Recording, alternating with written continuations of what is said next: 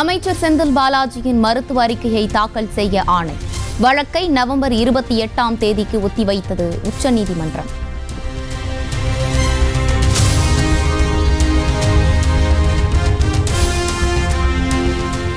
தேவைப்பட்டால் அமைச்சர் செந்தில் பாலாஜிக்கு மீண்டும் அறுவை சிகிச்சை செய்ய இருப்பதாக தகவல். எம்ஆர்ஐ ஸ்கேனில் பித்தப்பையில் கல் இருப்பது உறுதியான நிலையில் மருத்துவ குழு முடிவு.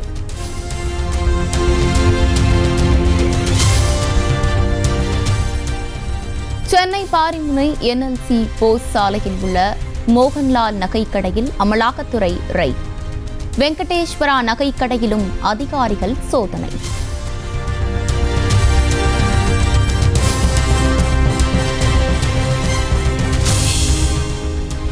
சென்னை அமலாக்கத்துறை அலுவலகத்தில் தமிழக அரசின் நீர்வளத்துறை முதன்மை பொறியாளர் முத்தையா நேரில் ஆஜர். பல்வேறு மாவட்டங்களில் உள்ள அரசு மணல் குவாரிகளில் நடத்தப்பட்ட சோதனையின் அடிப்படையில் விசாரணை.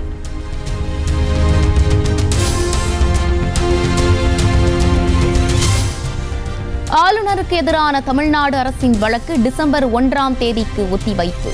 மசோதாக்கள் மீது ஆளுநர் முடிவெடுக்க சற்று அவகாசம் வேண்டும் என்ற மத்திய அரசு தலைமை வழக்கறிஞரின் கோரிக்கையை ஏற்று உச்சநீதிமன்றம் ஆணை.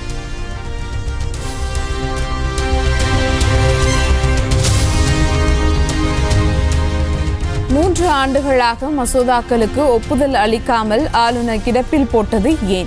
உச்சநீதிமன்ற உத்தரவிட்ட பின்னர் மசோதாக்களை திருப்பி அனுப்பியது ஏன் என்றும் நீதிபதிகள் கேள்வி.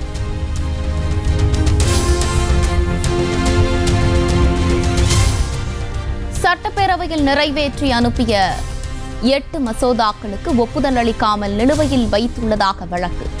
கேரள ஆளுநருக்கு எதிரான அம்மாநில அரசின் மனு தொடர்பாக மத்திய உள்துறை அமைச்சகம் ஆளுநரின் செயலாளர் ஆகியோருக்கு உச்சநீதிமன்றம் நோட்டீஸ்.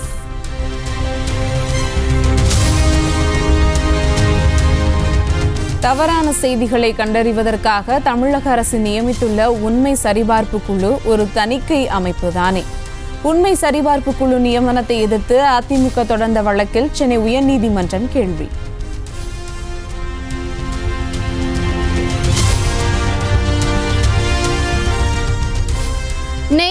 என்எல்சி நிறுவனத்திற்காக நிலையெடுப்பு செய்வதில் பாதிக்கப்பட்ட மக்களுக்கு மாற்று இடங்களுக்கான பட்டா வழங்கிய முதலமைச்சர் மு க ஸ்டாலின்.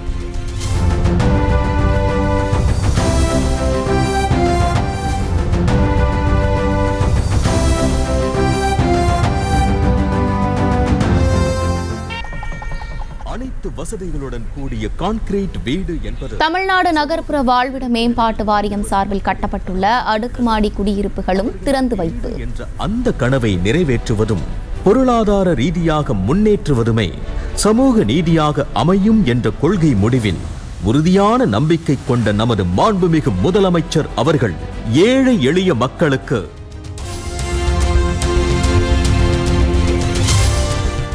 தீவிர சிகிச்சை பிரிவில் இருந்தாலும் தேமுதிக தலைவர் விஜயகாந்தின் உடல்நிலை சீராகவே உள்ளது. ஏற்கனவே சிறுநீரக மாற்று அறுவை சிகிச்சை செய்யப்பட்டுள்ளதால் தொடர் கண்காணிப்பில் இருந்து வருவதாகவும் அமைச்சர் மா. சுப்பிரமணியன் விளக்கம் உடல் நலம் சீராக இருக்கிறது.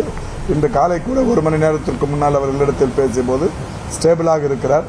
ஐசியூவில் இருக்கிறாரே தவிர ஸ்டேபிளாக இருக்கிறார். ஏற்கனவே அவருக்கு கிட்னி டிரான்ஸ்பிளான்ட் செய்யப்பட்ட காரணத்தினால் அது சம்பந்தப்பட்ட மருத்துவரே அவருக்கு இந்த இருமல் மாதிரியான பாதிப்புகளுக்கு மருத்துவம் தர வேண்டும் என்கின்ற நிலையில் அந்த மருத்துவமனையில் மிக சிறப்பாக கண்காணித்துக் கொண்டிருக்கிறார். ஸ்டேபிளாக இருக்கார்.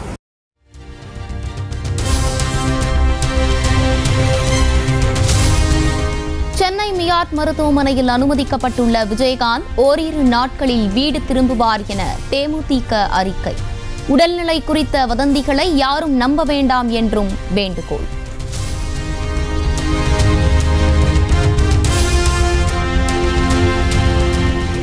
இருபத்தி இரண்டு மற்றும் இருபத்தி மூன்றாம் தேதிகளில் தமிழகத்திற்கு மிக கனமழைக்கான ஆரஞ்ச் அலர்ட்.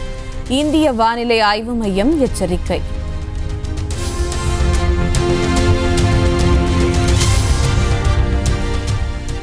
சென்னையில் பல்வேறு இடங்களிலும் பரவலாக கனமழை.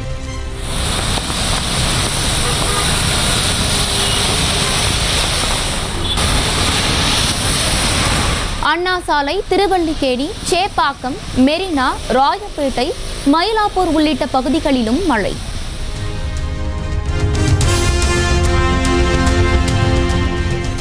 திருவள்ளூர் மாவட்டம் பொன்னேரி சுற்றுவட்டார பகுதிகளில் பெய்த கனமழையால் வெள்ளம்.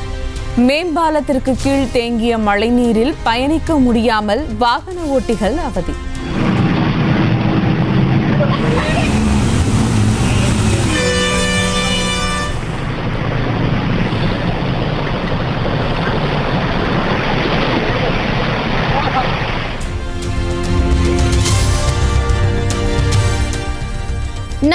நெல்லை மேற்கு தொடர்ச்சி மலைப்பகுதியில் பெய்து வரும் தொடர் மழையால் நம்பி ஆற்றில் வெள்ளப்பெருக்கு. திருக்குறங்குடி நம்பி கோவிலுக்கு செல்ல பக்தர்களுக்கு இரண்டாவது நாளாக தடை.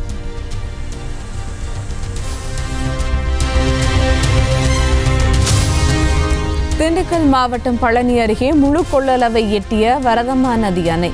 நிரம்பி வழிவதால் கரையோர மக்களுக்கு அறிவுறுத்தல்.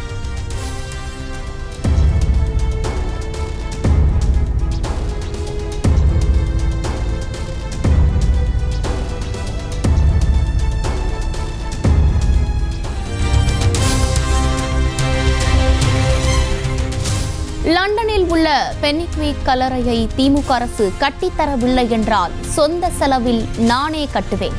அதிமுக முன்னாள் அமைச்சர் செல்லூர் ராஜு அறிவிப்பு.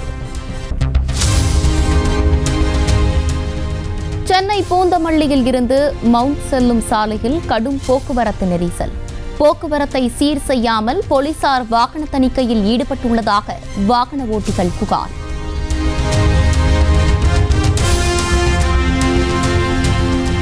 மணிப்பூர் மாநிலம் இம்பால் விமான நிலையம் அருகே மர்ம பொருள் பறந்த விவகாரம். இரண்டு ரஃபேல் போர் விமானங்களை கொண்டு மர்ம பொருளை தேடும் பணி தீவிரம்.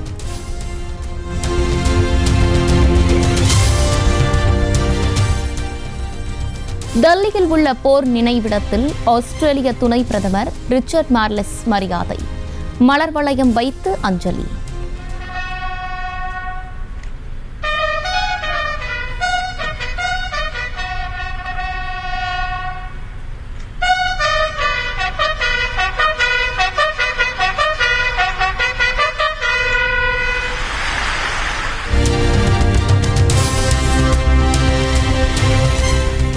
உத்தரகாண்ட் முதலமைச்சர் புஷ்கர் சிங் தாமியுடன் பிரதமர் மோடி தொலைபேசியில் பேச்சு.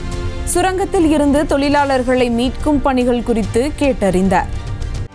செய்திகளை உடனுக்குடனும் துல்லியமாகவும் தெரிந்து கொள்ள சப்ஸ்கிரைப் பண்ணுங்க.